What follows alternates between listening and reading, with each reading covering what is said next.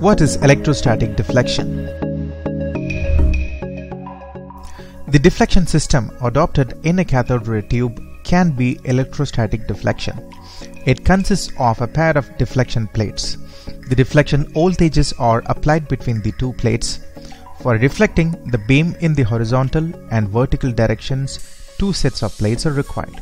The horizontal deflection plates are placed vertically and the vertical deflection plates are placed horizontally. The plane of the plates is always parallel to the axis of the cathode ray tube. The electrons are attracted towards the positive plates and when they leave the region below the plates they travel in a straight line at an angle with the axis.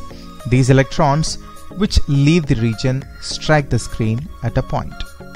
The hot cathode K emits electrons which are accelerated towards the anode by the applied potential. Those electrons which are not collected by the anode pass through the tiny hole in the anode and strike the fluorescent screen. The electrons striking the screen emit energy in form of photons and thus light is emitted from the screen. The displacement d of the electrons is determined by the potential Vd applied between the deflecting plates. The velocity with which the electrons emerge from the anode hole can be given as V naught x equals to root of 2 EVA by m. Assuming the velocity of electron emission from the cathode to be zero, since the region between the anode and the edge of the deflection plate is field free, the electrons move in straight line and with constant velocity. In the region between the plates, the electrons will move in the parabolic path.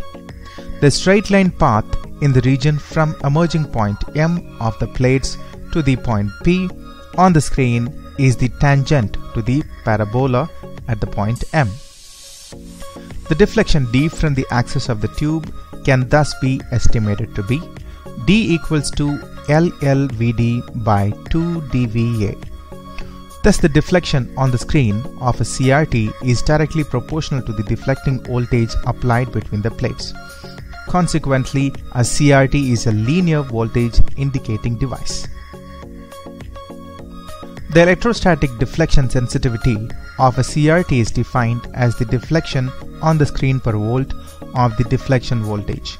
Thus, S equivalents to D by Vd equals to LL by 2 dVA.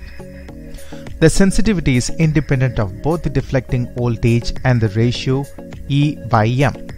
Further, the sensitivity varies inversely with accelerating voltage. The assumptions made in this connection that the deflection field is uniform and the region outside the deflecting plates is field free may not be possible in practice. This leads to the fringing fields and correction is to be employed up to as much as 40% of the above achieved result.